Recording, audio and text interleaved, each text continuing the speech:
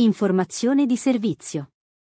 Tra poco inizia l'estate, per cui ho intenzione di modificare un po' l'uscita dei video. Manderò in pausa Darkness Fall, il mondo di Morte Bianca, Lego Fortnite. Mi dedicherò a fare principalmente delle live nel pomeriggio dalle 14 alle 16. I gameplay saranno randomici. A settembre ricomincerà il ciclo tradizionale. Vi ringrazio.